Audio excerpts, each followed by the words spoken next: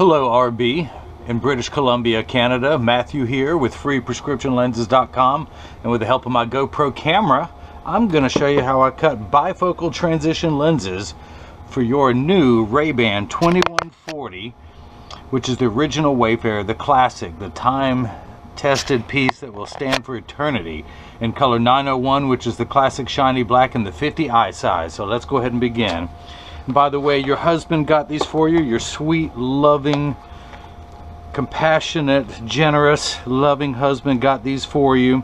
So can he have the convertible now? That's me. He didn't ask for that. But this is how your frame this is your Italian leather Ray-Ban case your Ray-Ban cleaning cloth. I'm gonna set all that down there.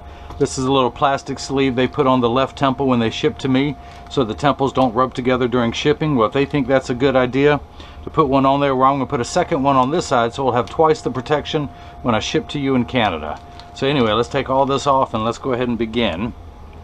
These are the original heavy breakable glass G15 lenses. I'm going to remove these and put in an unbreakable lens for your frame. I just have to remove the sunglass lenses so I'm going to point the frame downward pop out one lens, heavy glass lens, pop out the other one, set it down. And now I'm going to take your Italian frame, put it into my, hit the start button, my Italian Santinelli. This is the $30,000 LE1000 patternless edger. And the stylus is going to pop up and trace the shape of the right lens, then it's going to move over and trace the shape of the left. Here at freeprescriptionlenses.com where everyone loves a bargain and no one is disappointed with quality. You buy a genuine, authentic Ray-Ban frame and you will receive free, clear, single vision prescription lenses or non-prescription fashion lenses. If you have vision insurance or flex dollars you're not using and you want a really, really cool look, you can buy from me and my receipts have my federal ID tax number on there so you can get reimbursed from your insurance company. Again, I'll be working on the Ray-Ban 2140, the original Wayfarer color 901, the classic shiny black in the 50 eye size. And this is the original made in Italy with the triple barrel hinges. And it's just the classic look. Of course, I'm wearing the new Wayfarer. This was originally made in, in the 50s. This one came out in 1992. This is the Ray-Ban brand that you will never see them change. So I'm going to put mine back on so I can see what I'm doing, yo. And Let's go ahead and pull up the shape onto the computer. Let me put in one measurement here and just programming which lens is being cut. And this is being cut for a plastic frame. So let's go ahead and begin. I'm going to take your right lens out of its protective sleeve your left lens. Now this is a block. I need to attach this to your lens while it is cutting. This is what's going to hold it in the machine. So I need to put a double-sided adhesive sticker on here in 3M. The same people who make post-it notes make a double-sided adhesive sticker. The black side is the sticky side. I'm going to stick that on there. Pull the tape away. Let's go ahead and get your right lens. Yep, that's it.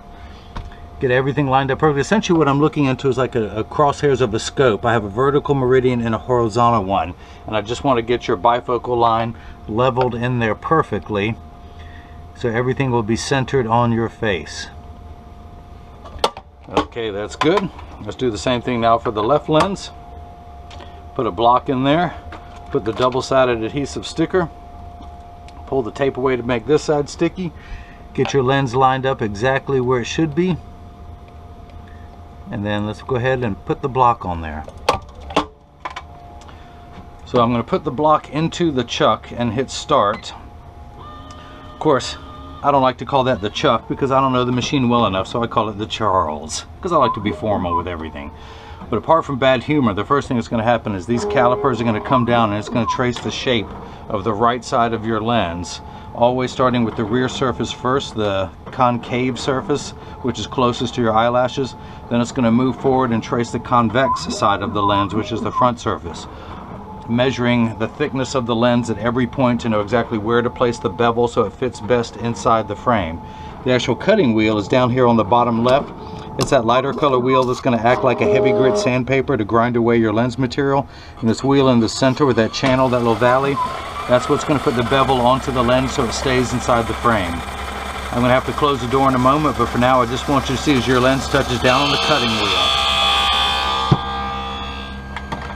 So, right after emailing you last night at midnight saying I had to get my beauty rest so I could look my best, it is now 3.43 and 87 degrees here in Durham, North Carolina. So, I said clean April Fresh, but I'm about an hour and a half away from my 5 o'clock shadow. And with it being 87 degrees here in North Carolina, would you take uh, musky September instead of April Fresh? Because it'll have to do. That's why you see me in shorts. Hey, that's something you don't see, but a short Saturday. Come in on the weekends to get everything cut and shipped to you. Now if you notice your lens is completely flat around the edges just like a nickel. If I were to take it out now I could actually stand it up on the counter. But in just a moment it's going to move over and have the, knife-like edge being applied to the lens.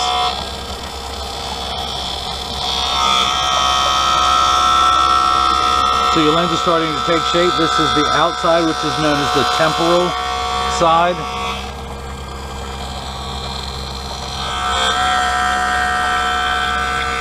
I wonder if that would sit up there. Yeah, that'll work good.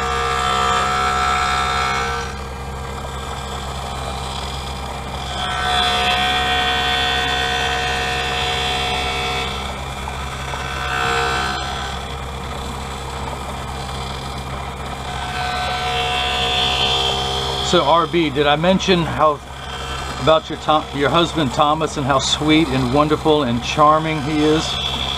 Okay, I just wanted to point that out again in case I missed it the first time. Forgive me for repeating myself. Yeah, so now it's moving over to get the, the bevel placed on the lens. It's going to slip right down inside that groove all the way around.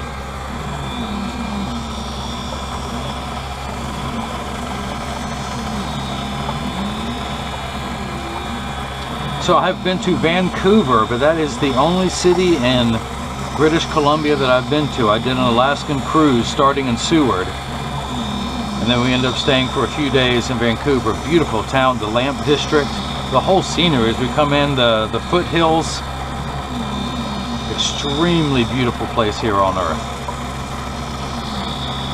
I'd recommend everyone go out there and visit, but then it'd be too crowded for you guys. So take turns. Don't everyone go at the same time.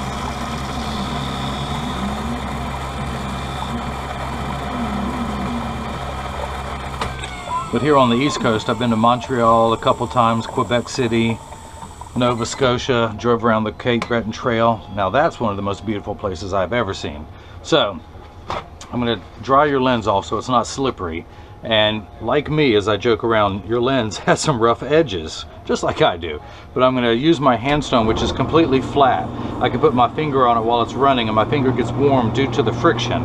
But it's that friction that allows me to apply what's known as the safety bevel. I'm going to dry everything off again and then let's see if it's going to fit into the frame which it usually doesn't first time around just warning you but let's go ahead and try. I'm going to tuck it in at the outside corner first and then use my thumbs press down the nose. It is not going in. So the golden rule you can always cut more off of a lens. You can never add it back on.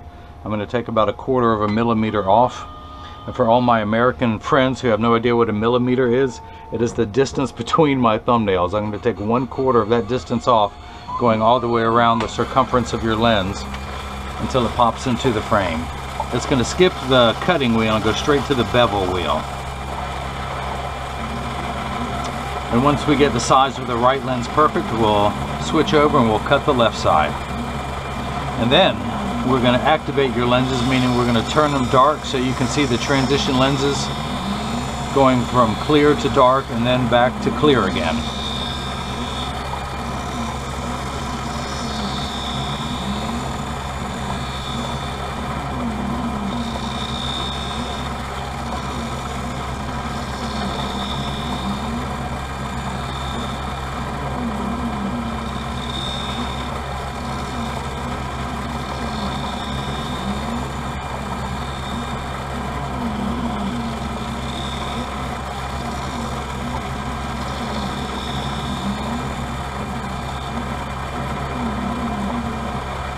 Okay, it is done. I will take it out.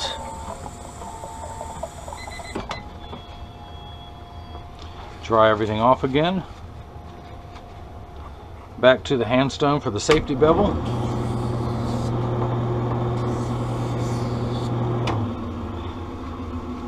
Get all that off your lens and now let's see if it'll fit. I start by tucking it in at the outside corner first and then using my thumbs I press down at the nose and there's still a little bit more give so let me take some more off. Thank you for your patience.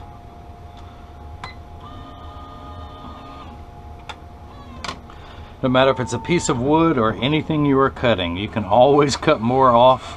You can never add it back on. So that's why I always start a little bit large and work my way down. So you do have a little bit of prescription in the top of these lenses, minus one for both eyes. You have asked for a plus two bifocal power. But for anyone else watching this, I can put in any prescription lens that you want, single vision, bifocal, non-prescription. I can do sunglass tinted lenses, I can do polarized lenses and any of the above. I can do mirror coatings on top of polarized lenses. I can do mirror coatings on top of clear lenses. For people who like to wear sunglasses indoors, it'll be absolutely clear. And for everyone who looks at you, though, they're only going to see the mirror coating that look like sunglasses.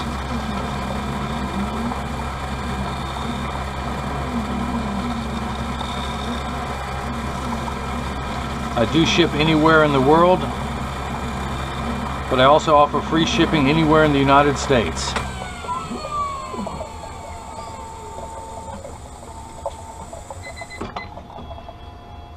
Take that back out real quick, back to the handstone, back to the safety bevel.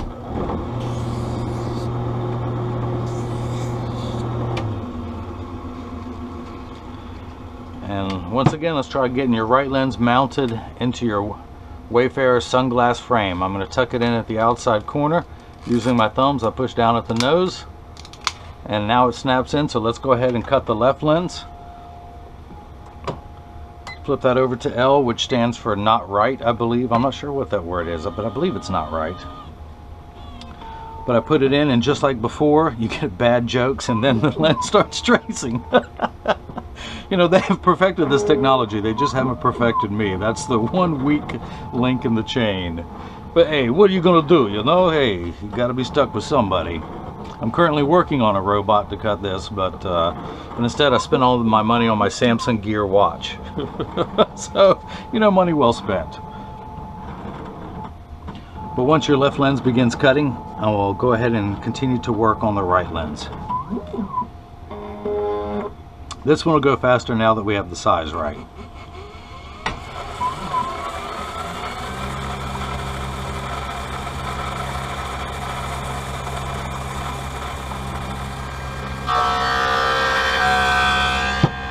Let's go ahead and take this block off. It is no longer needed. Pull the sticker off. Dry the lens off one more time. And actually want to go ahead and read the prescription off of the lens. I'm getting minus one for your distance prescription there. And then let's go ahead and measure the bifocal. I'm gonna raise that up. And I'm getting plus one for the bifocal. Now, you add the two together. When you have minus one and then plus one, when you go from the number wheel, like where we're gonna go two numbers, one's back to plano and then back to 1.0 magnification. But I can put any power in that you want. Let me go ahead and verify that that line style bifocal is completely straight and level using my graph. That is perfect. So the lens is finished cutting and now the bevel is being applied.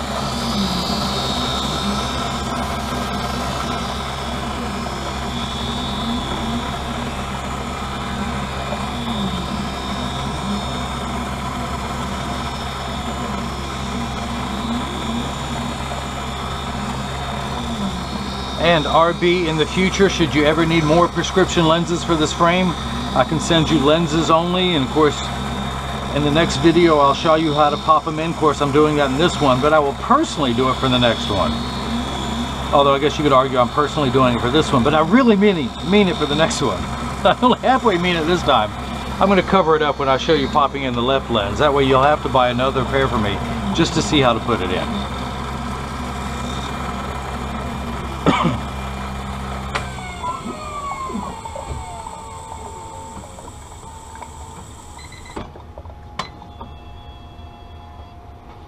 dry the lens off. Back to the handstone real quick. Put the safety bevel on there to smooth off those rough edges. Now let's go ahead and get the left lens mounted. I'm going to tuck it in at the outside corner first. Oh, it's fighting me. It's still alive. It's still alive. Tuck it in the outside corner first, and then using the thumbs, you just push down at the nose, and it snaps right in. So let's go ahead and take this block off. Pull that sticker off. Dry everything off. I just want to make sure that both lenses are level in the frame. Perfect. I couldn't have done a better job if I cut this myself. Let's go ahead and inspect the prescription in the left eye. I'm getting minus one again. Check the power of the bifocal. Back to plus one, so two full diopters of magnification. Now I'm also, you're going to be getting a cleaning cloth from Ray-Ban in the case, but I'm also going to provide one of my own. You can always use this to clean your lenses. Now, also this is the time that I like to remind everyone if you get these in the mail and they're too loose or they're too tight or they sit high on one side or the other, that's because 80% of people have one ear that's higher than the other. And I'm no different. I'm part of that 80%. That's why 99% of all optical shops will do free adjustments if you ask them. But I'm going to go ahead and get it in standard alignment, also known as a three-point stance. The three points are one, two, and the bottom of the frame being three. I set it on the counter and press down. There is no wobble. When I say wobble, when I take mine off, and I press down mine wobble because one ear is lower than the other but they sit level on me I flip them over press down there is no wobble I make sure that each temple overlaps perfectly and there's the same amount of tension on each hinge the triple barrel hinges this is one of the strongest hinges that Ray-Ban makes you could almost drive over this frame and you won't break it this is one of the sturdiest and well built frames out there but this is what your lenses look like while they're still clear. I'm going to go ahead and activate them, meaning that I'm going to expose them to a very strong burst of ultraviolet light. In my little transitions box, I'm going to turn it on. Now it takes 30 seconds to 45 seconds for them to turn dark when you go outside. It takes about 45 seconds to a minute to a minute 15 to return to clear when you come back inside. Now Arbe, this is important, pay attention. All transition lenses get dark on day one as you can see. Give them two weeks. They're going to continue to darken every day for the first two weeks until they get to their final setting, provided that you're exposing them to the sun every day. It doesn't have to be all day, just your general errands. Um, now, they'll work every day for years without any lack of performance. The only time they will not work is if you're in your car driving. The a classic windshield absorbs all the sun's harmful ultraviolet rays so your dashboard doesn't crack from sitting in the sun and that's what prevents transition lenses from darkening. Now, if you have a convertible or a motorcycle, they will darken. They're also temperature sensitive, meaning that when it's 90 degrees and above, they just don't get as dark as they do when it's 90 degrees and below. But I don't know how often it gets above 90 degrees where you live in Canada. But that's it. That's the first time. And don't you worry, they're going to keep darkening every time after this. But that's that. If anyone has any questions, just email me at freeprescriptionlenses at gmail.com. Arbe, I hope you enjoyed watching me make bifocal transition lenses for your Ray-Ban 2140 Original Wayfarer in the color 901 Classic Shiny Black. This is the Blues Brothers frame. This is the gold standard that every Ray-Ban is compared to. But that's that. Thank your loving husband. And of course, I thank you from purchasing from me. And hopefully everyone else has got the chance to see how I bring that love and feeling back to glasses. Thank you.